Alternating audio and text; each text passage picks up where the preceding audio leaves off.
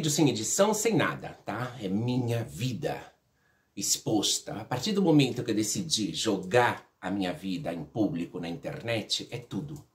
Para mim é tudo ou nada. É falar tudo e sempre a verdade. Isso é muito importante. Então, gente, esse vídeo incluso vai dedicado, que é um vídeo muito importante. Esse vídeo vai dedicado a todas essas meninas, incluso meninos que sofreram algum tipo de abuso e ficam em silêncio, não. Hoje as leis é diferente. Hoje denuncia, denuncia, fala, grita, põe uma câmera, grita pro mundo, mas na minha época era diferente. Na minha época não tinha câmera, não tinha nada. E se eu fosse falar o que aconteceu comigo, eu levaria uma surra. Eu levaria uma surra. Então, vamos lá, que é um vídeo bastante difícil, mas vamos falar o que aconteceu comigo. Olha. Pessoal, quando a minha avó, quando a minha avó saiu lá daquele buraco, né? Porque ela também saiu, né? Ela saiu lá daquele buraco, conseguiu alugar uma casa, uma casa lá em Francisco Morato. Lá em Francisco Morato. Então é uma casa que eu lembro perfeitamente, é uma casa grande, era uma casa grande com uma área, de trás tinha aí um fogão de lenha, muito bonito, que podia fazer coisa, tinha um quartinho de. Aí um quartinho onde eles guardavam ferramenta, tinha árvores, era uma casa como se fosse o sítio do pica-pau amarelo. De verdade. Situa o sítio do pica-pau amarelo e vocês vão ver essa casa. Tinha um galinheiro lá, meu tio que criava preá, criava umas coisas lá, e tinha aquele. aquela espécie de criadeiro de preá, tinha. também criava pomba rolinha, que era uma pomba pequenininha, branca, que eu lembro perfeitamente. A minha avó tinha galinha com pintinho. Era um sítio, gente. Era um sítio, né? Então, eu já tava com 10 anos, né? Como eu já vendia doce e tudo aquilo em Francisco Morato, sabia, né? Então, a minha mãe, a minha mãe começou a se aproximar, a minha avó começou a se aproximar um pouco mais da minha mãe, porque sabem, né? Foi uma guerra, né? Aquele sofrimento da minha mãe, vivendo naquele quarto lá dentro da casa da minha avó com três filhos, né? Que era eu, meu irmão e minha irmã. Era a gente quando veio de Belo Horizonte, tudo isso, né? Então aí começou essa, essa, aproximação um pouco mais, né? A minha avó dela, a minha avó incluso pegava o trem, ia lá, na casa da minha mãe e tudo. Aí começou a mudar a situação. Ela começou a se aproximar um pouco mais, tá? Essa é a pura e dura realidade, que eu sei que as minhas tias veem meus vídeos e elas sabem que isso é pura verdade. Então, elas começaram essa aproximação, tudo. Então, minha mãe já deixava eu ir lá na casa da minha avó. A minha avó, gente, ela vivia em Francisco Murato num lugar que se chamava Água, ou chama, né? Porque esse lugar não, não desapareceu. Esse lugar chama Água Vermelha. Gente, da estação de trem de Francisco Murato até a Água Vermelha, ou você pegava um ônibus para descer lá, porque era, era uma espécie de rua, rua não, avenida, é, é avenida rua, que do lado tinha só uma espécie de montanha, né? Assim que eu lembro perfeitamente, não era montanha, era, era montanha assim cheio de mato e tudo, então era aquela avenida, né? Lá para baixo, perto de uma metalúrgica que tinha lá, justamente em frente ao sítio da minha avó. Aí ela já deixava, mas só que eu ia a pé, gente, a caminhada era mais de uma hora. Eu ia a pé. Por que, que eu ia a pé? Porque tinha mais gente que passava por aí, né? Casal, crianças, tudo, tudo em família passando, né? Ia caminhando, né? Porque muitas vezes o ônibus demorava muito. Então, eu também saía para economizar o dinheiro do ônibus, né? Claro, para não gastar, né? Porque tava juntando dinheiro, né, gente? Aí, olha o que aconteceu. Eu cheguei lá na casa da minha avó, né? E aquela coisa, né? Você chegava lá, punha a minha roupinha lá, uma mochilinha lá, punha lá, né? Ia brincar, né? Ia brincar porque era um sítio, né? Gostoso e tudo. Aquelas árvores cheias de fruta, gente. Tinha muita coisa lá. E de frente, de frente esse sítio, vivia uma outra família aí, tá? Essa família, Ronaldo, Sandro, o Sandro, irmão do Ronaldo, né? Ronaldo, de 16 para 17 anos. O Sandro tinha a minha idade, 10 anos. tá? A gente estava com a mesma idade. Eu e o Sandro tinha 10 anos. O Ronaldo, Ronaldo teria isso, 16 para 17, né? E hoje, Ronaldo deve ter mais de 60, eu acredito. Se eu tô com 54, o Ronaldo deve estar com mais de 60, né? Eu, eu acho que sim, né? Porque eu lembro perfeitamente. Então, aí eles tinham plantação de cana, uma espécie de canavial, assim. Mas, gente, era aquelas canas grossa e docinha, né? Então, eu, muito de olho, né? De olho. Aí eu quero, eu quero, eu quero, eu quero, né? Aí tá. O Ronaldo tá subido num pé de, de fruta. Que pé de coisa era aquela de, de ameixa?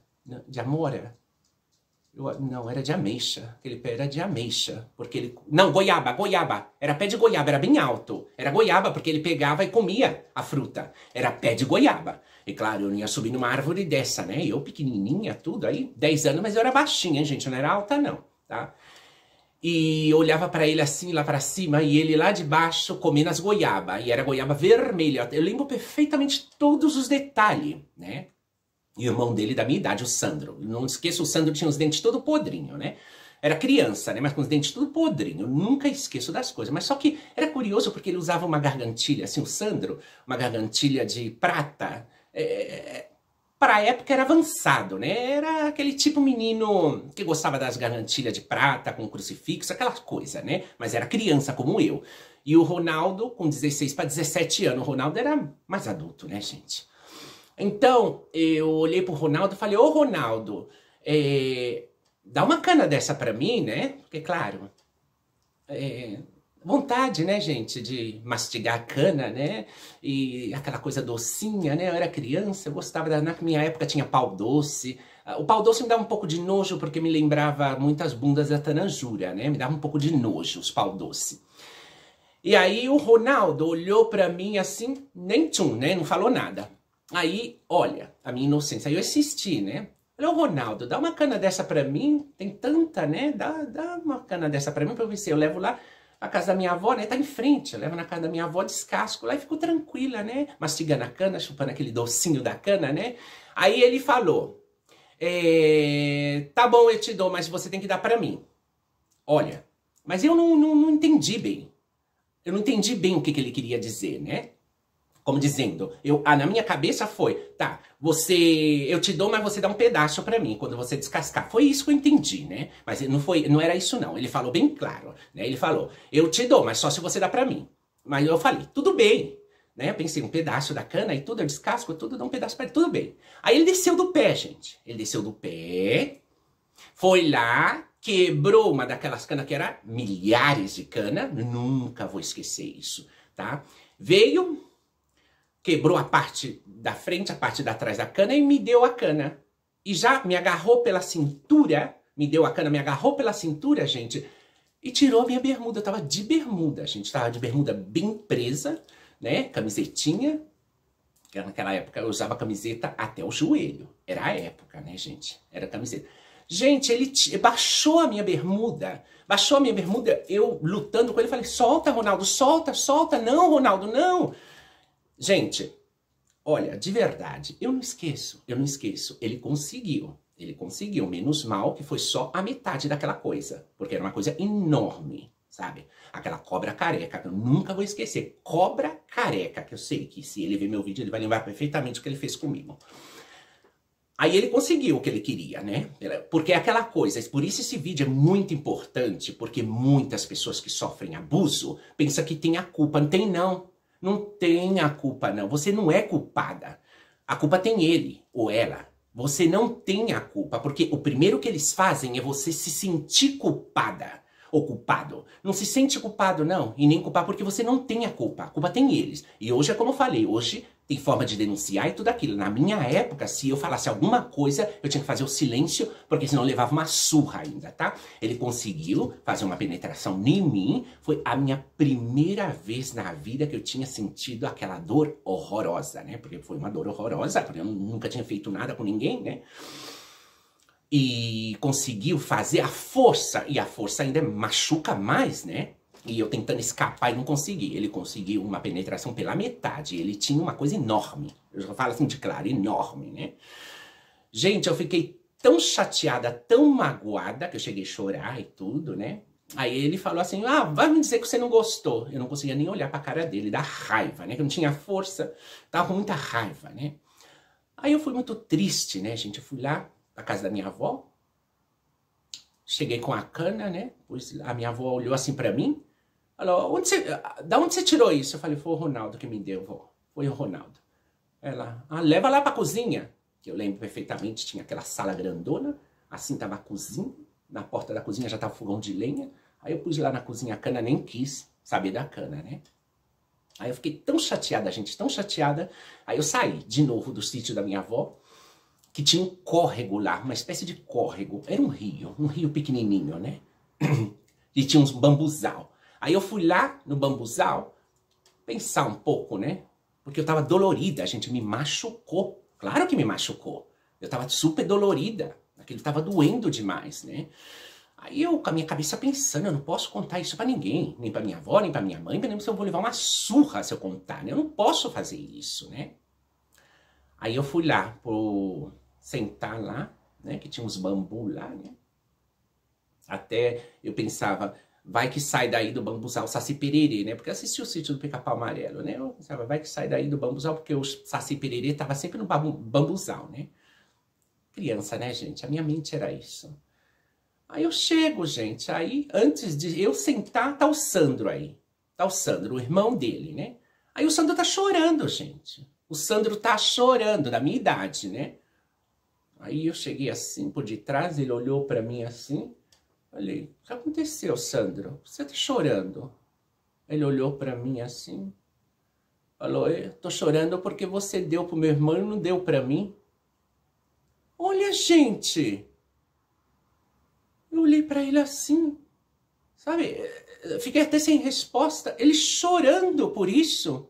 Falou assim para mim, juro por Deus. Eu tô, eu tô triste porque você deu pro meu irmão, não deu para mim. Gente, eu saí dali arrasada, arrasada. Perdi o rumo, perdi o norte, perdi o sul, perdi o leste, o oeste. Minha cabeça começou a girar, girar, girar, girar, girar, girar.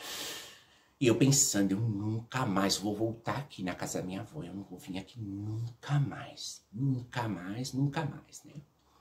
E isso foi o que eu fiz. Aí a minha mãe falava para mim, né? Você não quer ir lá na casa da tua avó, não? Que eu comprei aqui cigarro para ela, que a minha avó fumava como uma chaminé, né? É, a minha mãe comprava de pacote, né? Daquele cigarro barato. Acho que chamava, como chamava aquilo?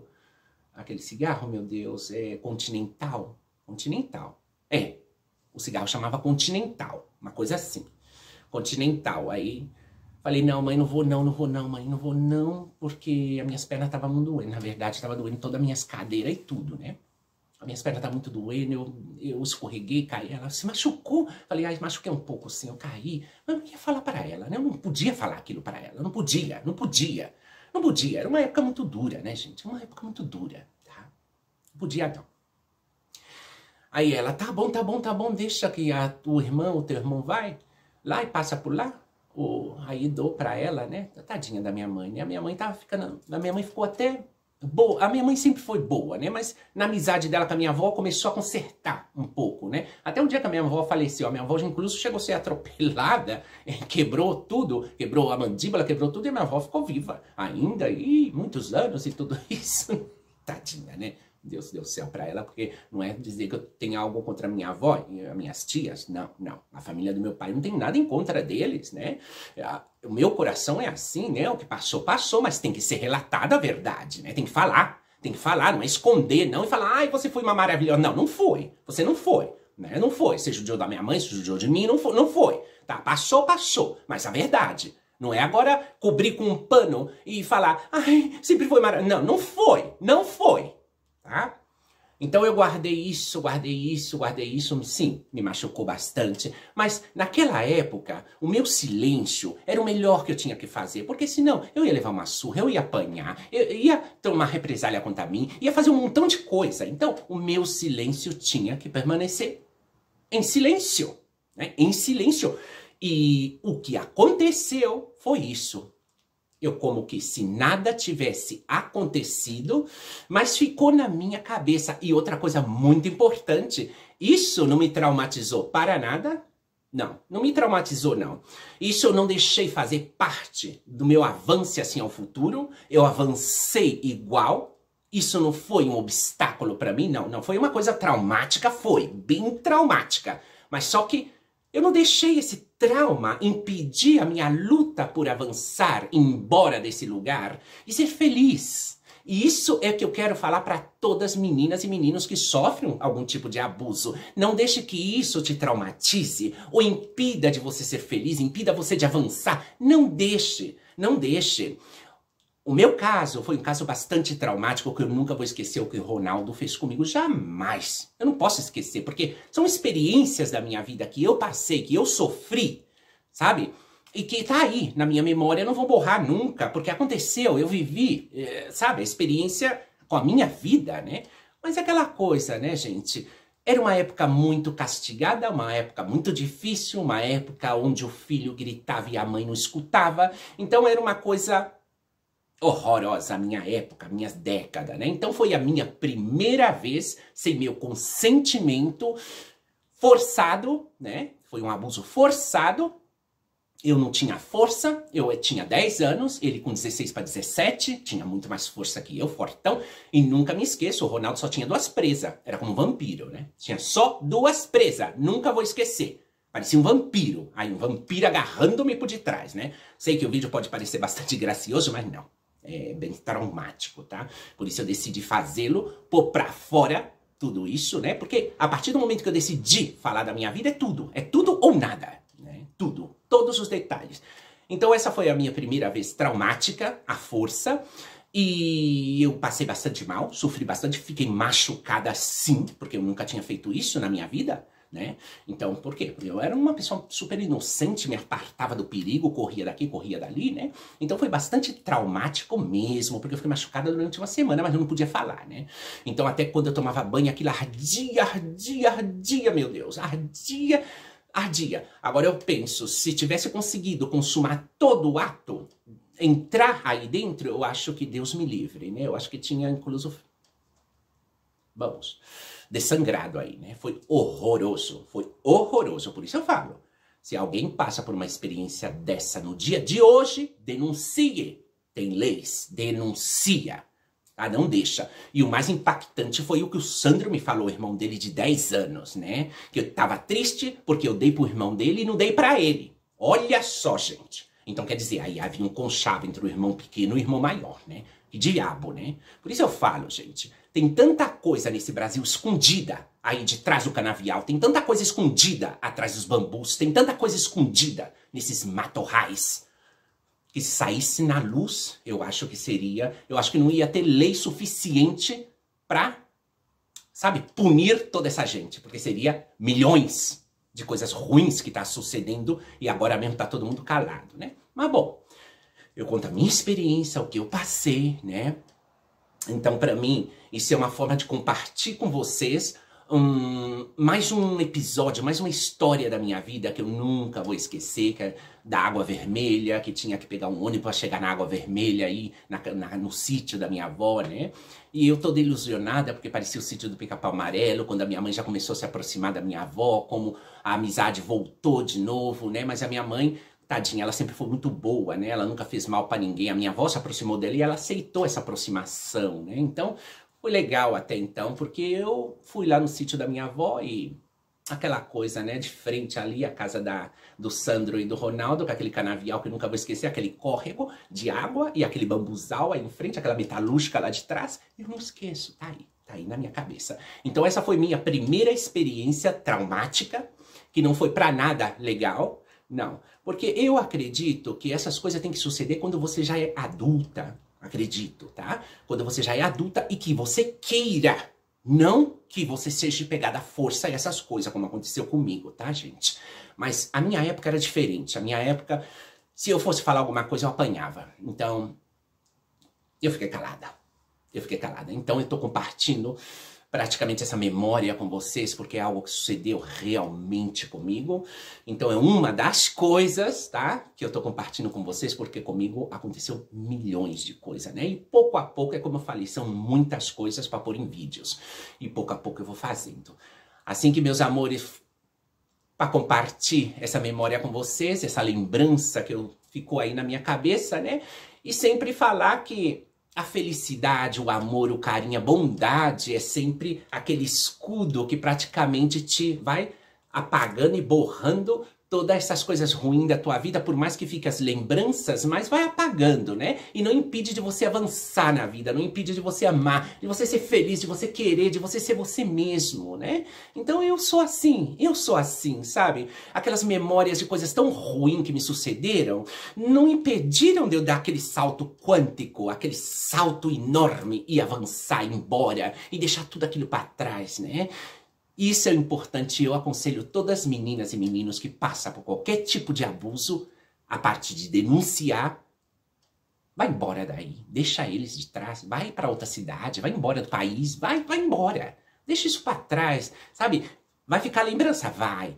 Mas você consegue conviver com essas lembranças, como eu consegui conviver com essas lembranças e muitas outras que tá dentro da minha cabeça. Mas nem por isso me impediu de avançar, não. E é muito importante sempre isso que eu falei e vou acabar de repetir para todas vocês.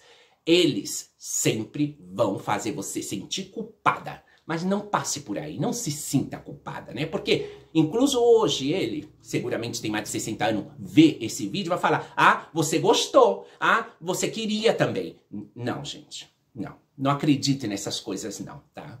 Porque eles sempre, o, o, o, o que o que faz o crime sempre vai fazer acreditar ou tentar fazer acreditar as pessoas que você tem a culpa. Que você tem a culpa que isso aconteceu porque você quis, porque você queria também. Mentira, pessoal, mentira. Não acredite jamais, menina, você que passou por uma situação dessa que você é culpada. Você não é culpada. Culpada é eles que fazem essas coisas ruins com as pessoas, como fizeram comigo, tá? E isso é um vídeo mais que eu queria compartilhar com vocês. E sou a pessoa mais feliz do mundo, por mais que eu tive experiências muito traumáticas na minha vida, mas isso não fez parte da minha vida. Quer dizer, aconteceram, mas não fez parte do meu caminho de me impedir de avançar, né? E isso é o mais importante. Assim que, meus amorzinhos, um beijo, um cheiro para todos vocês. Fiquem com Deus. E olha, vem mais coisinha aí, tá? Amo vocês de loucura. Mua!